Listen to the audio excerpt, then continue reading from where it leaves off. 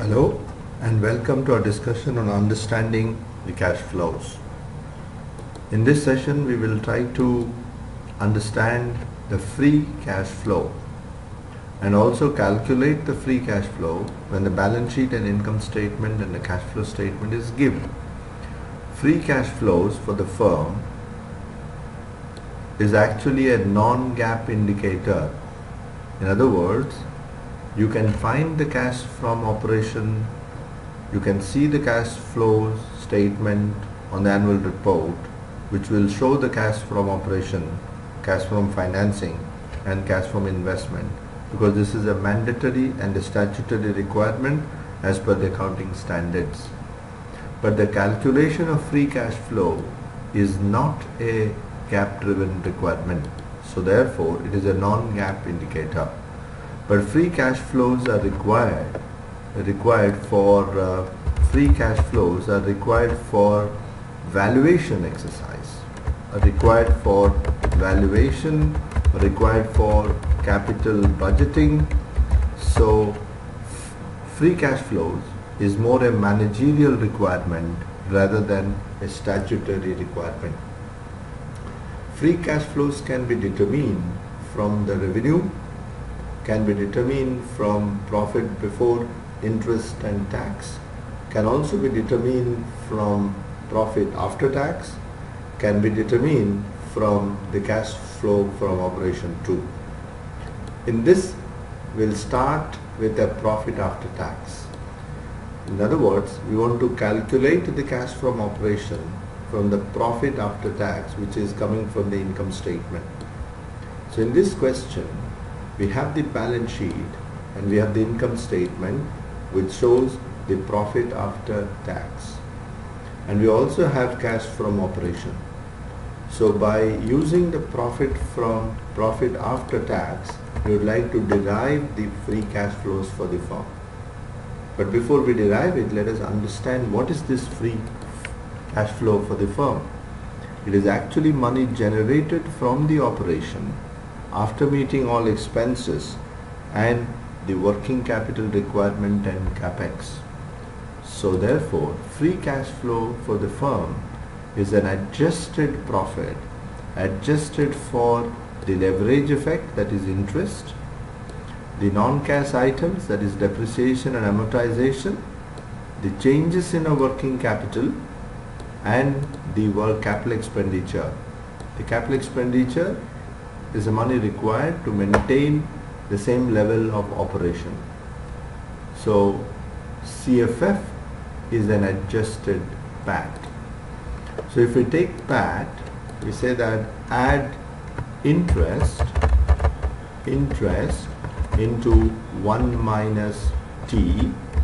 So therefore, we say it is interest into 0.70 so 2100 add depreciation is a non-cash item. Add R&D as a non-cash item is a non-cash item. Add R&D 20,000 working capital changes the change in working capital change in working capital so let us find the working capital. Current assets of the firm is stock plus debtors other than the cash. The current assets in the second year is 52,300. Current liabilities in the first year is a creditor plus the outstanding expenses 16,000 and the second year is also 16,000 so working capital is current asset minus current liability. So it is 36 and 17 respectively. The change in a working capital is 17 increase in working capital is 19,300 similarly we have to make adjustment for the capex. But what is capex capex is calculated as capex is equal to capex is equal to the change in the net asset change in the net asset plus the depreciation plus depreciation or amortization if it is an intangible asset. So in this case we have plant and R&D which we are treating as a capital expenditure. So the change in the asset is 19 minus 20 plus depreciation plus depreciation 1000 so no capex during the period. In the same way for R&D 40 uh, minus 0 plus the capex for the uh, the amortization for the period so the capex during the period is 60,000 so less capex 60,000 so if we sum this up we'll get the cash we'll get the cash free cash flows for the firm. The free cash flows for the firm is 32,400 32,400 now we can find the same free cash flows for the firm by using PBIT PBIT less tax on PBIT PBIT add depreciation and amortization less changes in a working capital and less capex. So FCFF if we take PBIT in this question is 70,000 minus COGS minus expenses minus depreciation minus R&D is PBIT less tax and tax is equal to 0.30 so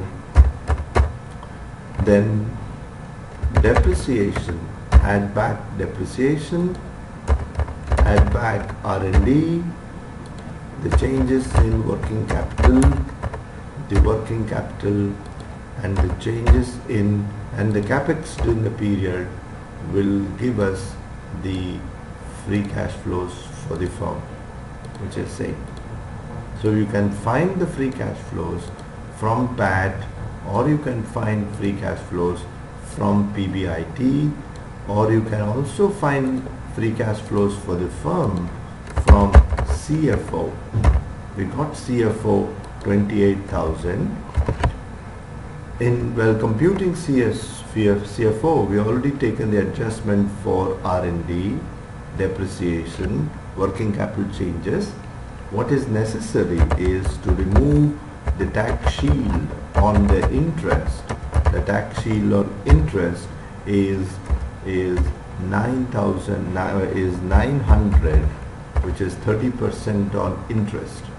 And the corresponding capex the capex is 60,000 so therefore the free cash flows for the firm is once again 32,400 so free cash flows is not a statutory number which you don't see in a cash flow statement.